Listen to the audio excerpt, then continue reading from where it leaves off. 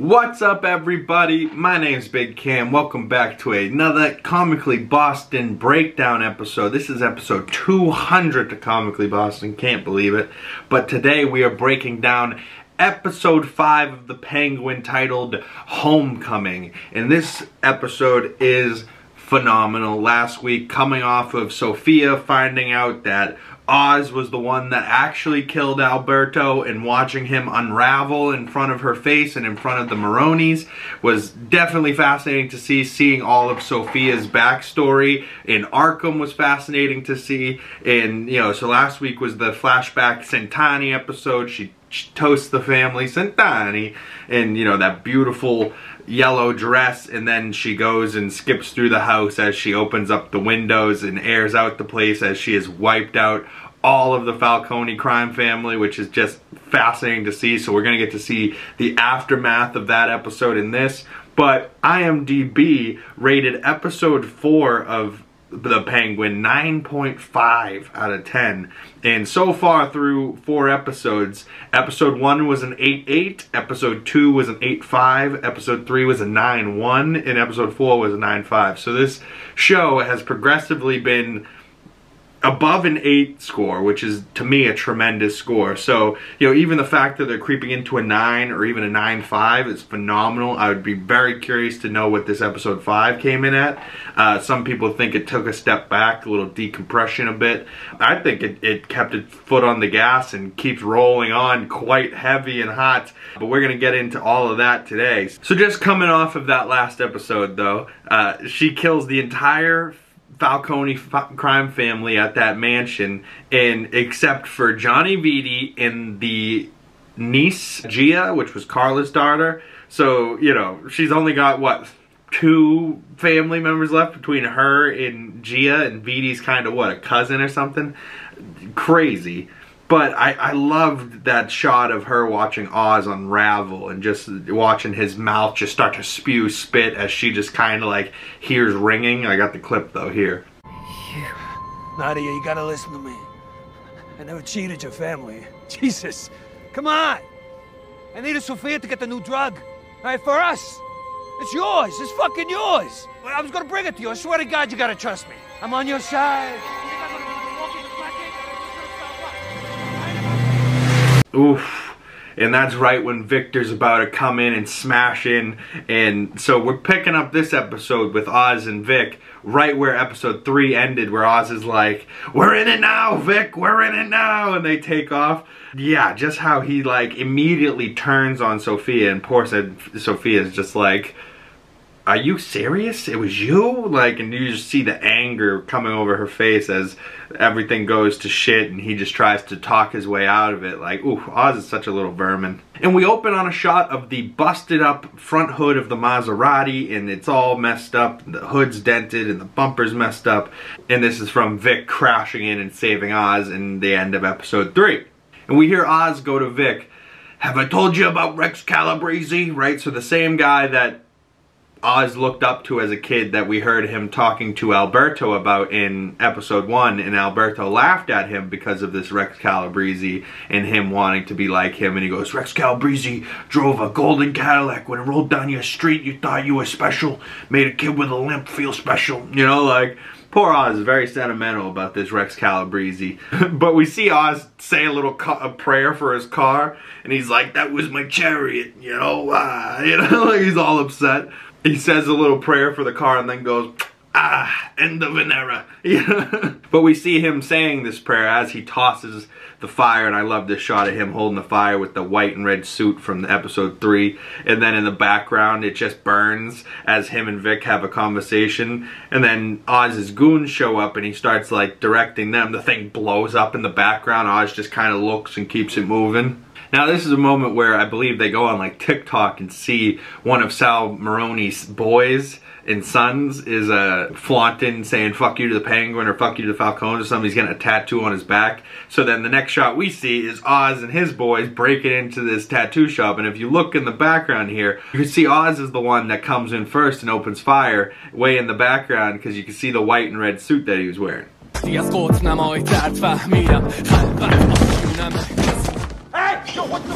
the moment he finally notices it's Oz and he's like, hey, and the guy runs away from him, Oz is like, what the fuck? I was trying to do this whole thing without him running. And of course he runs, runs into the alley. Vic grabs him, throws him down. He starts to struggle. Vic punches him in the face. He's still struggling and Oz like puts a gun right to his head and goes, stop moving, stop struggling. You know, like I love, I love just every line that Oz says. I really, it just embeds itself into my soul.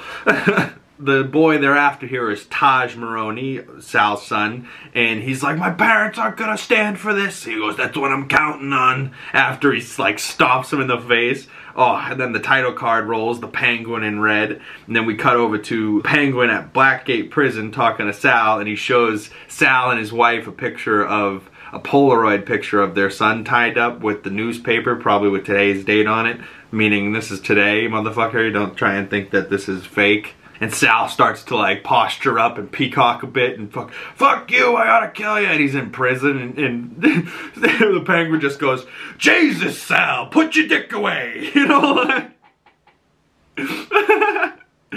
oh God, so good. So Oz makes a deal with the Maroni's wife and Sal to, you know, hey, I give back your sons, you give me back my mushrooms, everything's gonna be cool.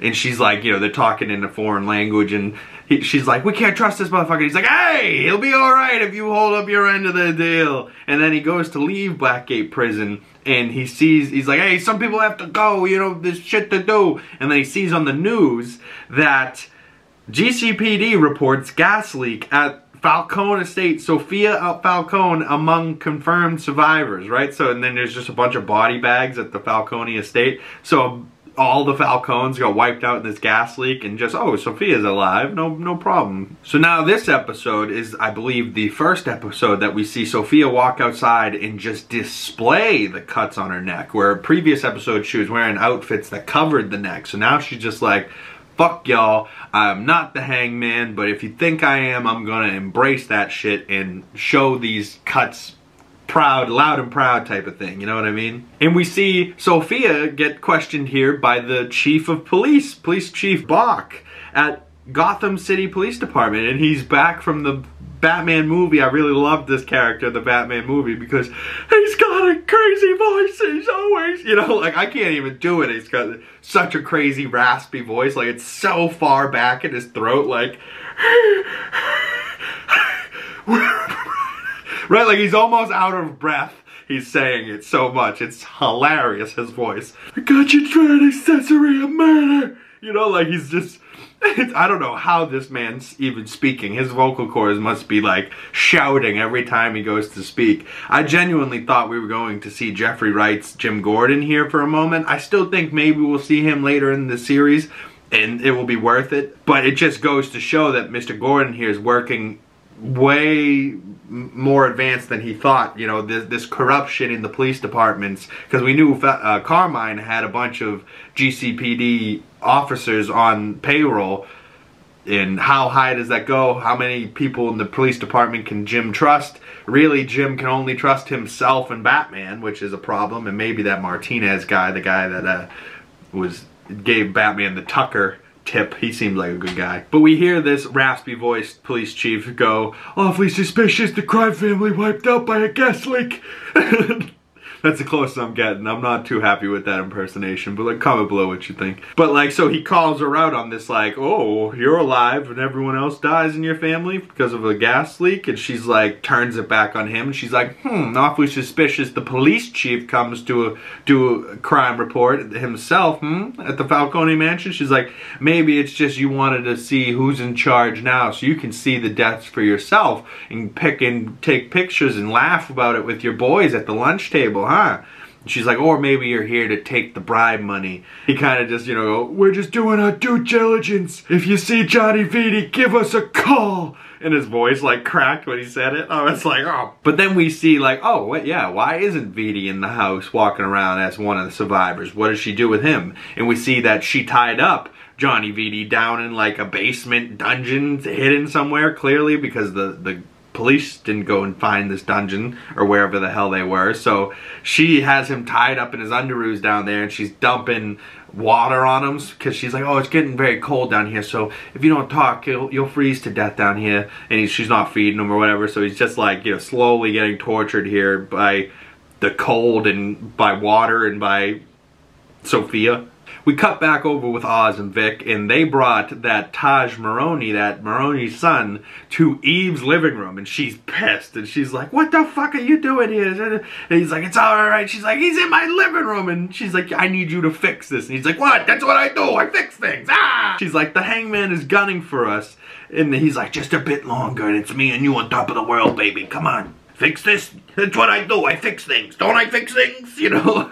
so then Eve storms away and we see Oz walk over to the TV and go, Oh, members of the Falcone family are dead. Boo-hoo, turn that shit off. And he's talking now, he's dressing his crew that are all now in Eve's living room and with a Maroni. And he's like, listen, he's like, None of them were friends. None of them were family. What do you miss, Johnny Vitti? What do you miss, Milos? He wore lifts in his shoes. We all knew it, right? So he's trying to like make some levity out of this moment, and they're all kind of like, we used to work for the Falcones, and they're all dead now. You know, like he's like, they never did nothing for us. And he goes, mm, why should we mourn them? If anything, Sofia did us a favor. One family down, one to go. And then he sends them all on their own little jobs, and then he goes to Vic and goes, Vic, I need you to do something for me. And he goes, I need you with with with my mother.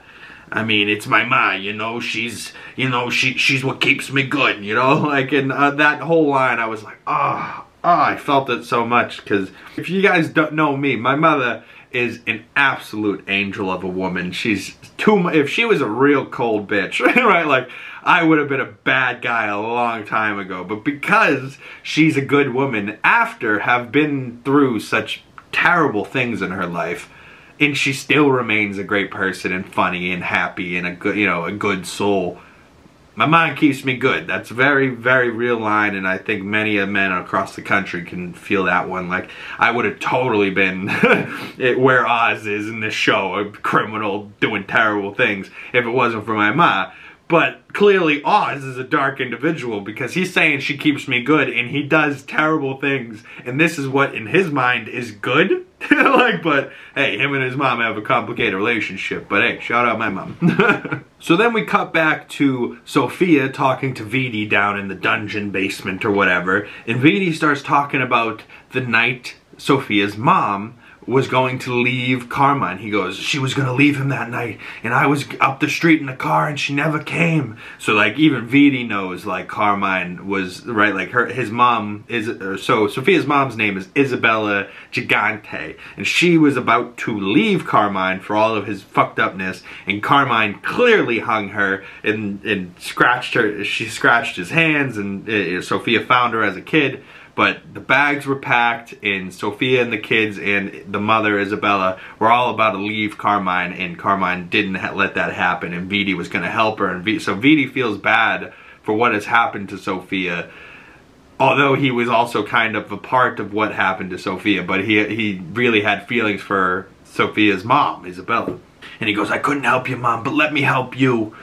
You know, like, and so he's he's getting tortured here. So it's still a, a, moment where you're like, I don't know if she can trust Johnny Vitti, but he is getting tortured. He's got nowhere else to turn, so he might as well, you know, be here for Sophia. Why not? We see Vic make his way over to Oz's mom's house, and, and his mom's house is a mess, and there's food, you know, stoves on top of the stove burning, and, you know, for God knows how long, the house looks pretty messy and then he walks stumbles into her room and he, she's like he's like Mrs. Cobb and she's like oh honey come here sit down sit down and like and starts to talk to him as if he's one of her kids about the baseball glove this was your glove and she goes I'm, I'm Victor I'm the help and she goes I know who you are and just snaps out of it like but she was she seemed like this sweet young mom and she was delusional and the dementia really doing numbers on her and you know, Victor's here, Oz isn't. So Oz's mom starts to talk to Victor and she's like, what's going on? Wait, where's my boy? And he's like, he's making a move on the Maronis. She goes, no, the Falcones are the bigger power. And he goes, Falcones are dead. And she goes, did he do it? And he goes, yeah. And she goes, you're bad at lying to me. And, you know, Oz might not have been the one that killed the Falcones, but he certainly pulled the strings to make Sophia get to the point where she could do something like that. So, you know, it, it wasn't directly his hands doing it, but he certainly had a, a hand in pulling the strings, you know what I mean? Yeah, the Falcones are dead. And she's all excited. She's like, all right, he's gonna need my help let's do this, you know? And Vic's like, yeah, all right, whatever, cleaning up her kitchen. and then we cut to Blackgate Prison, and Sal gets stabbed, and we just see him with a knife in his stomach, and this police guard stabbed him. And then we cut to Oz about to make the deal to drop Taj, the Maroni's son, with the wife and get the, the mushrooms back. And this gets crazy. And she goes, what did you do to him? Take that, I want to hear from himself. And he's got duct tape over his mouth. He's like, I'm doing you a favor. Your son's a real talker.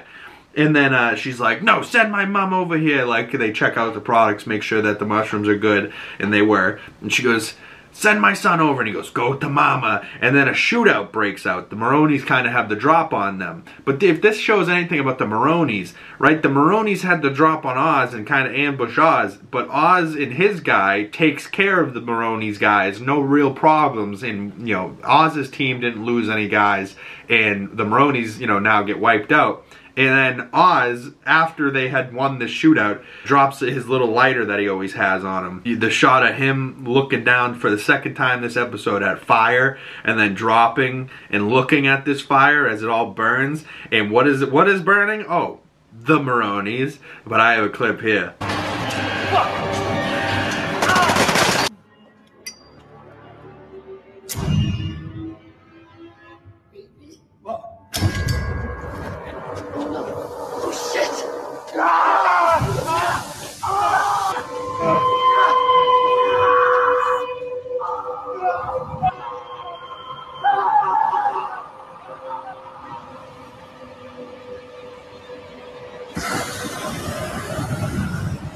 We see how Oz looks on in awe and just like loves what he's seeing. And as he watches them burn alive and we hear them scream. And uh, if you were wondering like how I was at first I was like how did there was just like able to burn alive Oz must have drenched this the Maroni's son in gasoline because you see the trail that leads right to him and he goes up at first and then the mom's trying to help him and her big jacket goes up and then they both start burning.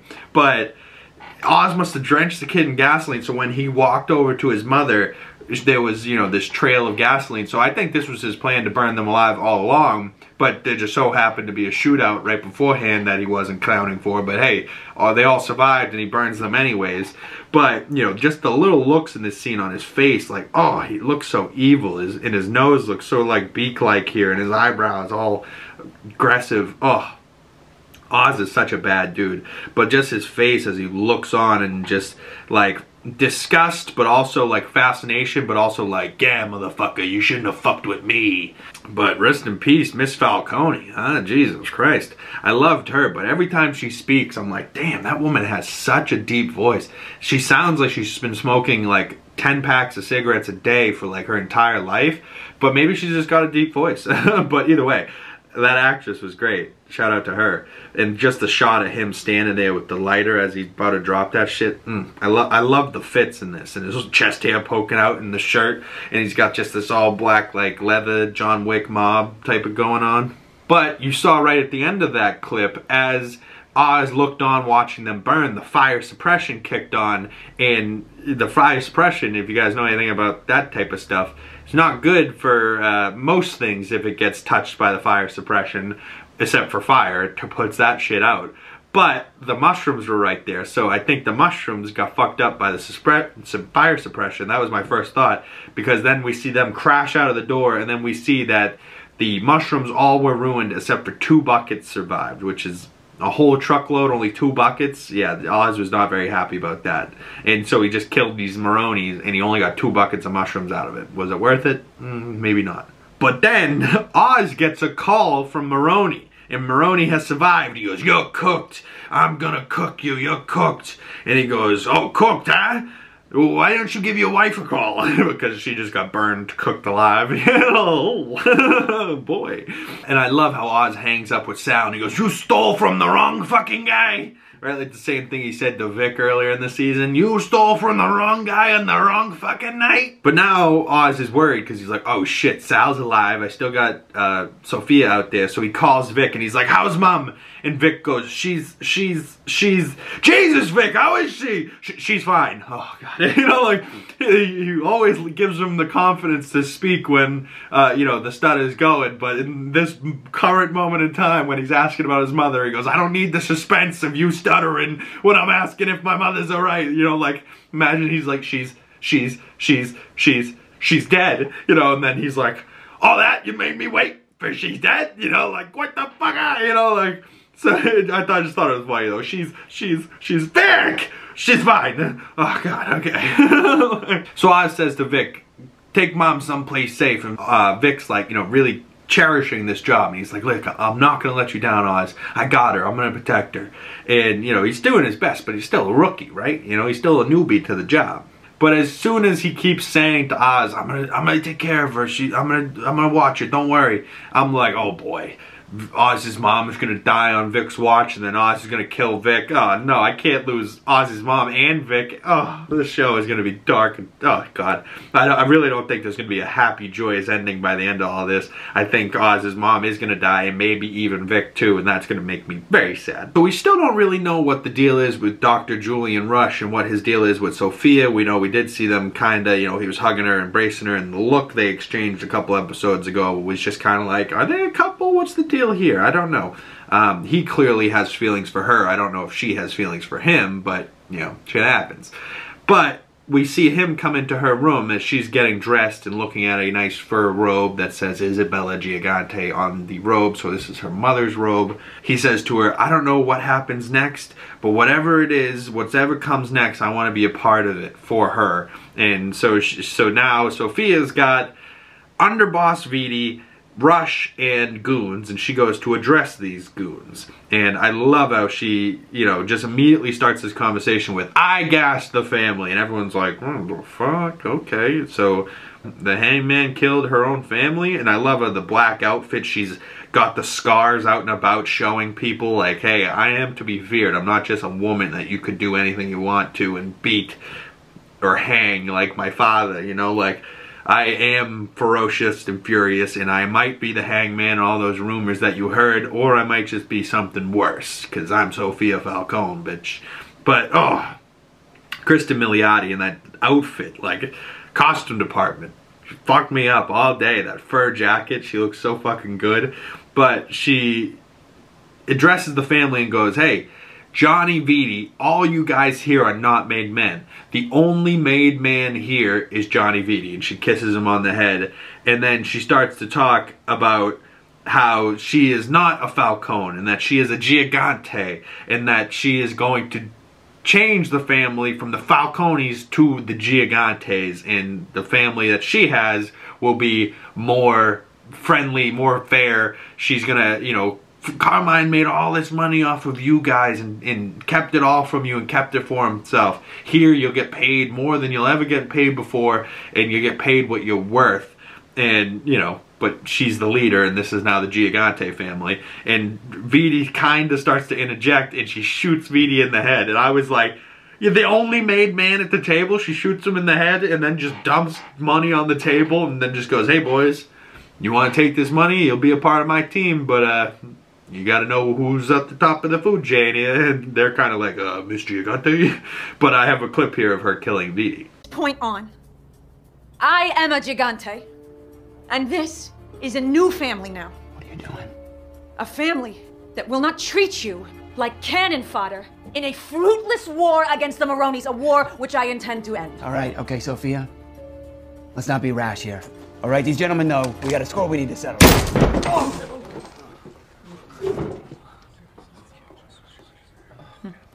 Ooh. So she's like, hey, I, I intend to end this war with the Maronis. And Vitti kind of interjects and goes, hey, we got something to do. Bang! Just right at the tail. And everyone else, like, you see the guy, oh, you know, like, he's like, damn, she just killed Vitti right in front of us. She's definitely the boss. And they're like, uh, Mrs. Gigante, and start taking the money for the guys that are, they're in. They don't have any questions. They're like, hey, I'm a goon. I'm a henchman. I don't need anything to do with this.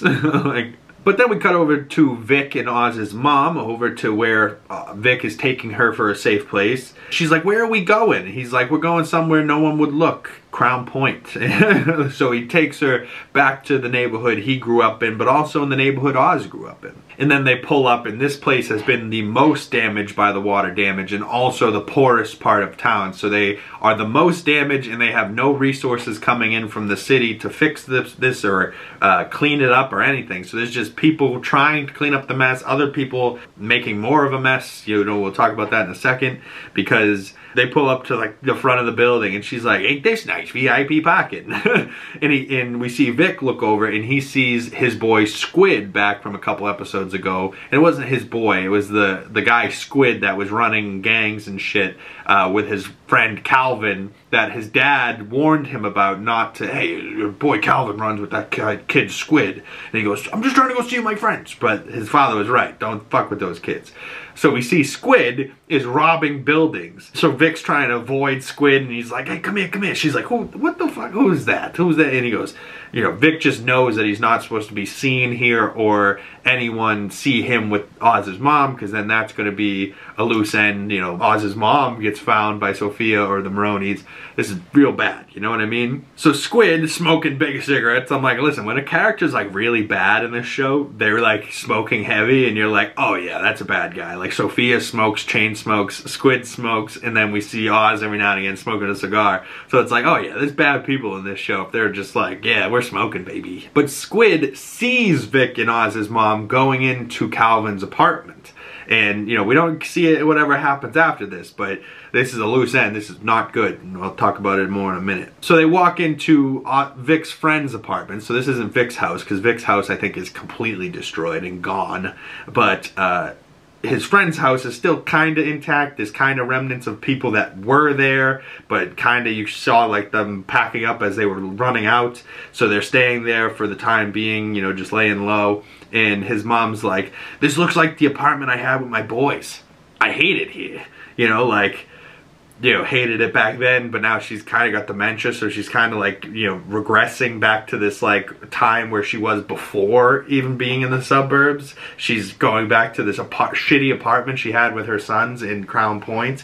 Oh, Vic looks across the street and goes, I used to live right over there. And she sees clearly that it's not there anymore. But Oz's mom goes, the east side is cursed. It takes everything from you. We see Oz come back to Eve's after, you know, having that phone call with Maroni and killing the Maroni's son and wife. And also, you know, still having the hangman Sophia out there. And Eve is pissed, right? She's still pissed from earlier about the hangman being on to them. And now the Maroni's and Oz is nervous. And just look how, like, it almost looks like his prosthetics are melting off of him. He's so sad and like wet from the rain, you know, and like, oh, poor Oz right now. He's just down bad and he just needs some comfort from the women that love him in the in his life and he doesn't get any comfort and he just gets, you know, pushed away and it, it really, you know, you can see why something like this guy ends up happening because he's just getting eaten alive by the guilt and by the women that he's supposed to love him the most and oh god, it's poor Oz. So Eve, you know, he tells her to come with him.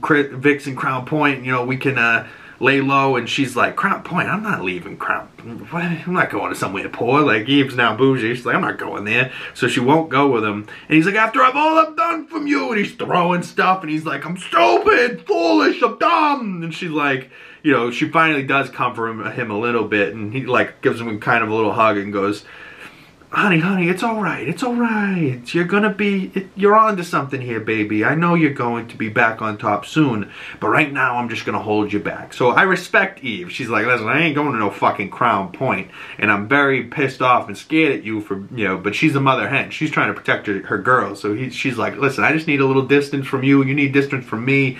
I can protect myself. I'm trying to protect my girls.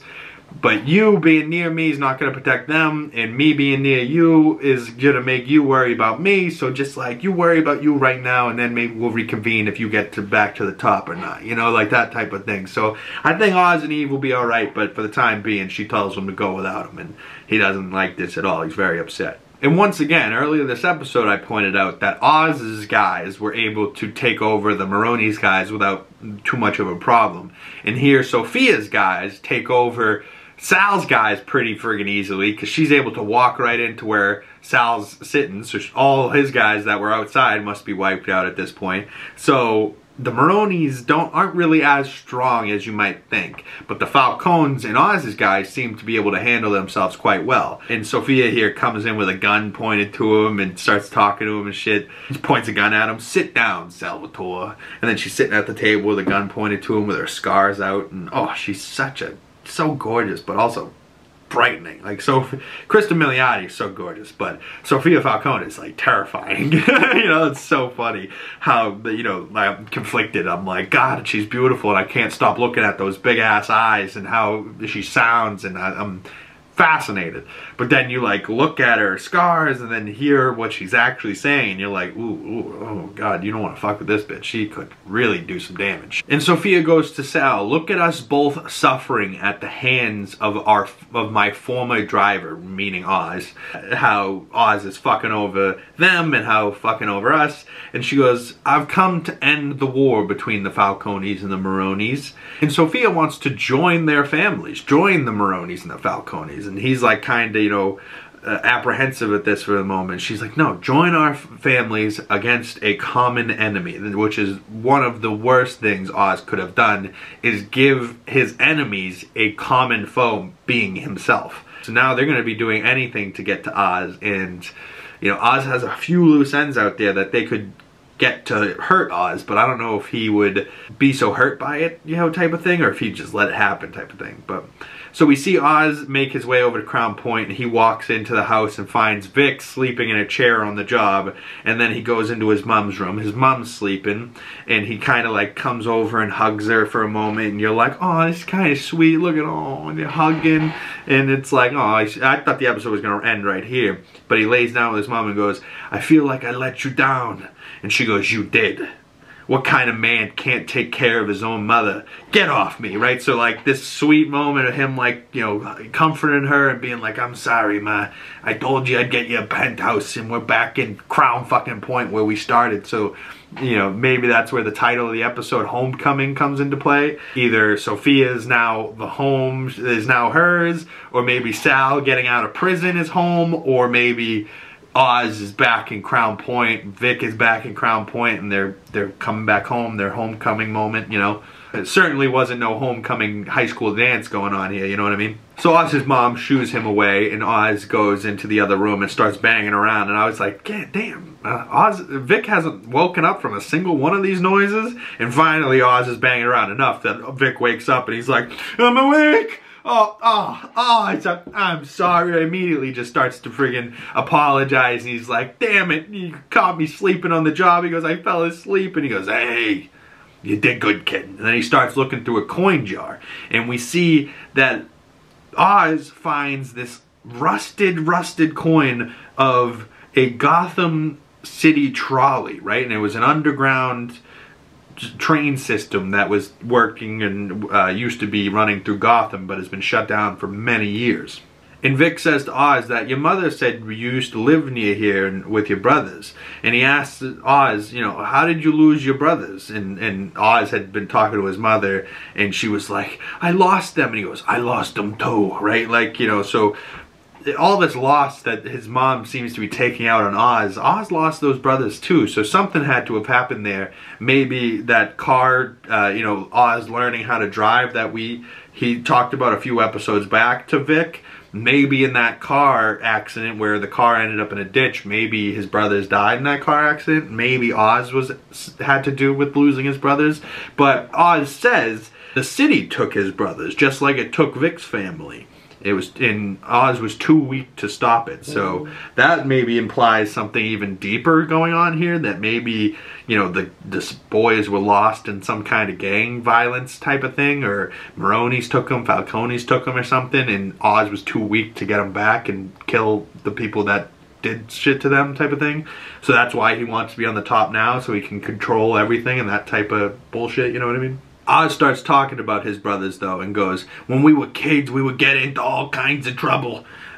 Across the city, the city was our playground. And then we see Oz find that underground railway coin.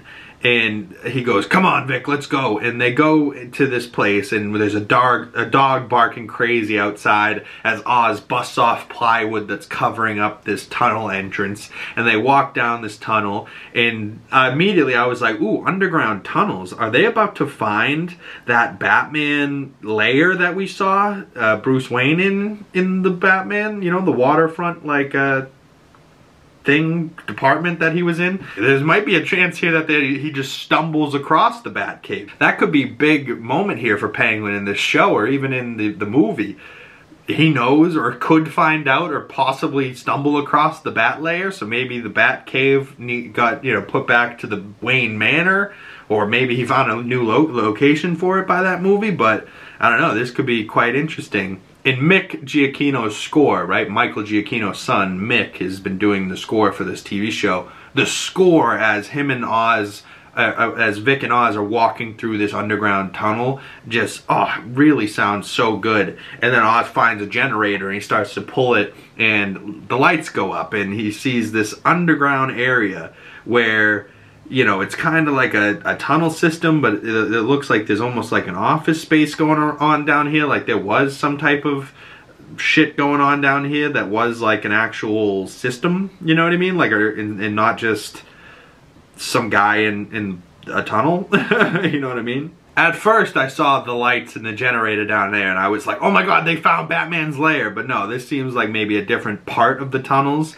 But either way, we see Oz all excited down there, and he's like, oh, it thrive down here. Vic's like, mushrooms. He's like, bingo. And then Oz kind of, you know, sees the lights and sees the vision for these tunnels down here. And he goes, look, this is going to be our new base of operations. It's going to be good down here. So Oz is really starting to see and feel the vision for this place down here and a place he can call his own where he's not working for the Maronis or the Falcones and it's just his operation with his guys and his troops and you know he can run shit down here. And I just thought it was perfectly fitting that the generator's running the lights and stuff and he's like a place to call my own. It's gonna be good down here. And then the generator runs and blows the light bulb and it goes dark and then the credits roll. And I was like, damn son, so what does this mean? And the credits roll to the song Reckless by St. Vincent. So immediately I was like, ooh, what is Reckless?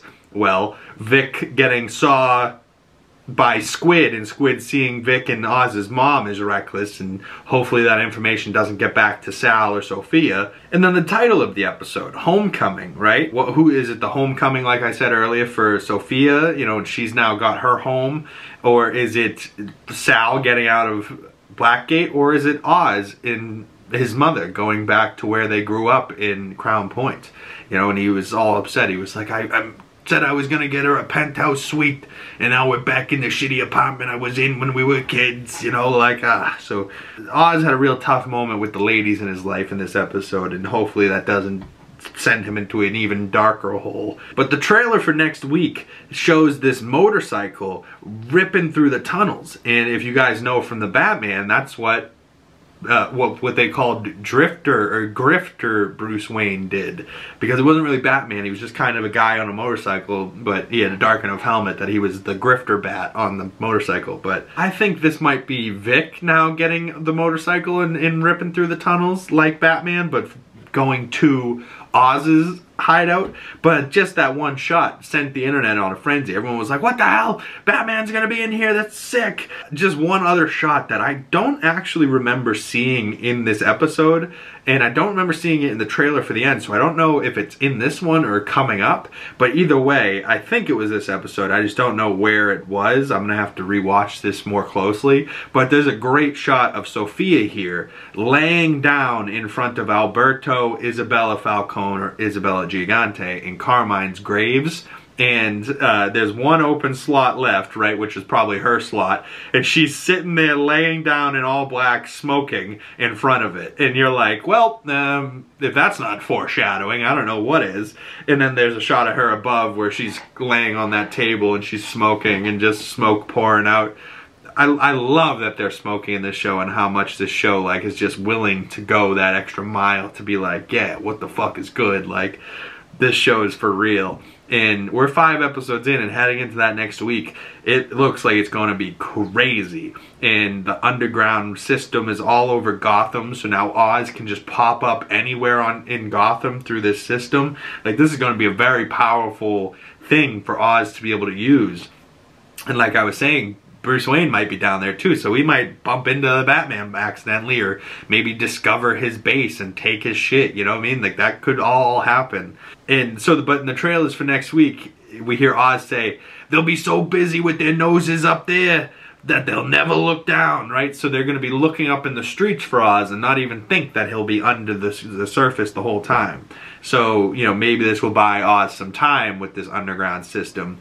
But Oz just wants to take care of people and be remembered like Rex Calabrese. So we see him giving beers out to looks like homeless people and then he toasts to them and he goes, to taking back Gotham. He wants to take over the city for himself and his men, but he also wants to be remembered like a Rex Calabrese. And he wants to be remembered and celebrated and not just this villainous, feared character. But I think that's where the show will end, and it will be more of a this guy's a ruthless killer that will kill anyone that's in his way, whether it's Maroni family, the Falcones, or whatever's going on there. But right now he's got a problem. He's got the Gigantes and the Maronis teaming up against his ass, and they're gonna go against one of his two things that he's been reckless enough to leave loose ends for. And that's Eve, his love, and his mother and something's gonna go wrong there. Squid, I hope, is just a prick and wants to just, hey, what's up, Vic? And Vic can kill him right there so that he doesn't spread that information out to Sofia and, and whatever. You know what I mean? So I'm worried for Oz's mom. I really am. I like her, but she also got dementia. So I mean, wouldn't wouldn't it be doing her a favor a little bit? You know, uh, terrible to say, but it is what it is. You know, I know if I had it, I wouldn't want to be sticking around longer than I had to.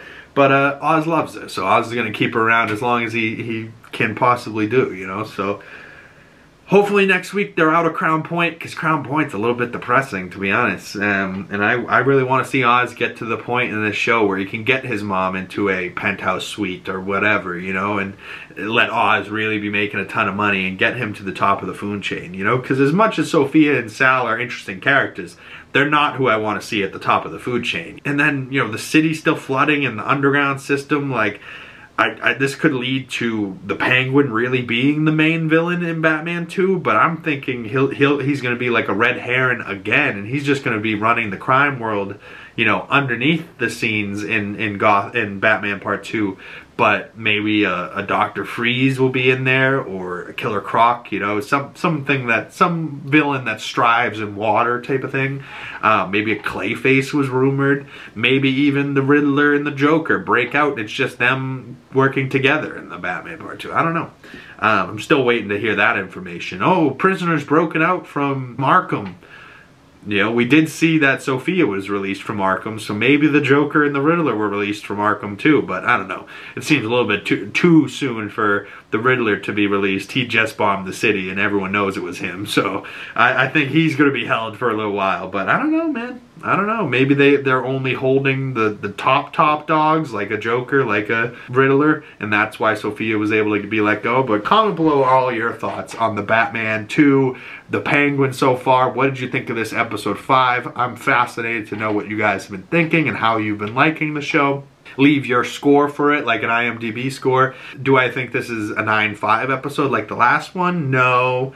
It's probably about a 9.1, maybe 9.0, uh, maybe even 8.8. You know, all those are good scores and acceptable scores, and this was a, an exceptional episode again.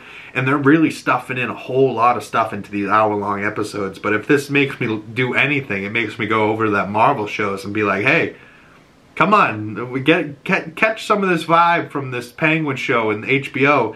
Let these shows be hour longs and doing the damn thing, you know what I mean? Because they clearly can, and they don't need to be, you know, 30 minutes or 40 minutes, 45 minutes, 41 minutes, and then only six episodes, right? Like we're doing hour long episodes, eight of them, right? And this was a little bit less than an hour, like 54 minutes, but still closer to an hour, feels like a whole lot happened and now we have six, seven, and eight. Three more episodes. Three more weeks of The Penguin. I am ecstatic for this.